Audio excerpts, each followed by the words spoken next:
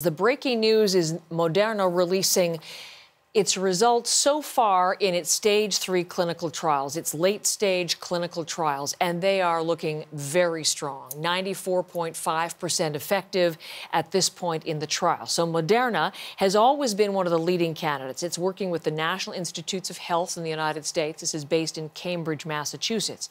And as this news breaks, how fortunate we have Dr. Christopher Labos in with us this morning. We've abandoned all other subjects, Dr. Labos, and we're going to talk about this. He's an epidemiologist and cardiologist based in Montreal.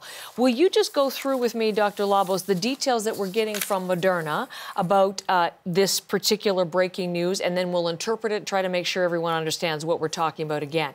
Number one, here we are. We had Moderna just moments ago. We had Pfizer last week. We have two companies now saying they have very encouraging, in fact, very encouraging results from their vaccine candidate.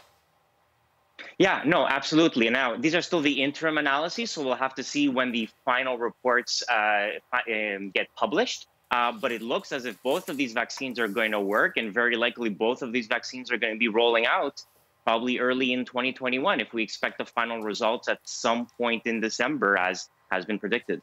So, yes, I mean, they look to be applying for emergency use authorization later on this month and could be coming along stream. Can I look at some of the details here? So, this is a vaccine that works like the Pfizer vaccine. It looks like they have the same kind of approach. Is that how, how you're understanding it?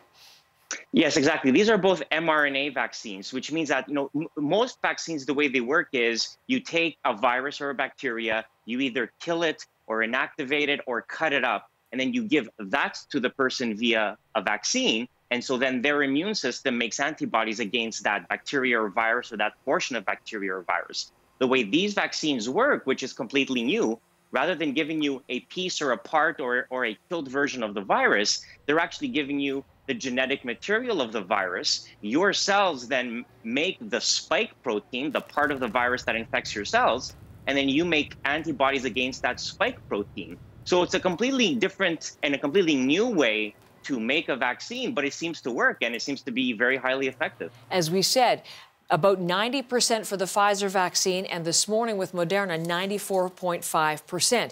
So there's a couple of interesting numbers that I'd like to get you to, to analyze for us. They looked at their group, they have this big stage three clinical trial going on, and 95 of the patients developed infections. This is looking at how well it protects people. 95 people developed infections. But then they found out that all but five of them were people who were on the placebo. So does that, and also here's another thing, all 11 severe cases were placebo recipients. So does that indicate strong protection? Can you interpret that for us? Yes, absolutely. It means that, again, the way the study was done, there were about 30,000 people in the study, 15,000 got the placebo, 15,000 got the vaccine. Um, if you got the vaccine, you were much less likely to get sick and also much, much less likely to actually have a severe infection. So it looks as if this virus really does prevent you from getting sick. And more importantly, it prevents severe disease, which is what lands people in the hospital, puts people in the ICU, and uses up, uses up medical resources. So the vaccine, maybe it won't protect you 100%, it'll only protect you 94%, which is still pretty good in my books.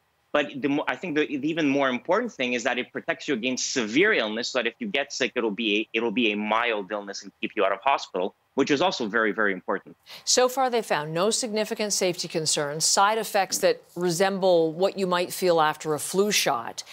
Mm-hmm. And come back just to this effectiveness rate, though, because we always understood going back a couple of months that the best we could hope for was maybe 50, 60%. Now we have two more than 90%. I mean, what does that signal? How much more encouraging is this, I guess?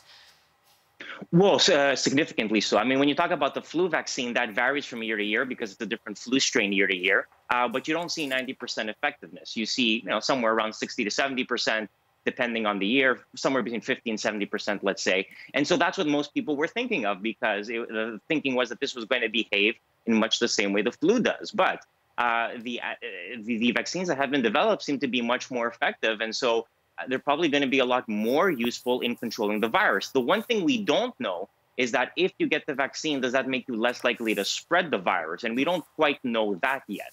Uh, okay. We'll see in the we'll see in the coming months. But in terms of preventing you from getting sick and keeping you out of hospital, this looks like this vaccine is really, really going to help with that. So that, as you just mentioned, one of the things that we need to watch. Always have to. It's very promising. People get very mm-hmm. hyped up over this, but there are caveats, there are cautions, and here's one that I'd mm-hmm. like to conclude on the distribution of all of this. With the Pfizer vaccine, we were talking about how it requires super cold storage, minus 75, which makes it a little bit complicated, doable but complicated.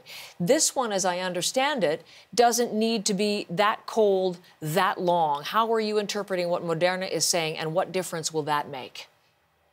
Yeah, so apparently the Moderna vaccine can be uh, stored in regular freezers, the kind that most, uh, you know, doctors' offices and pharmacies have. So it's going to make distribution a lot, lot easier. There was always some questions like, how are we going to distribute the Pfizer vaccine if we can't, you know, just give it out to family doctors and to pharmacies to vaccinate people? So it looks like with the Moderna vaccine, it probably will be able to use a more traditional rollout.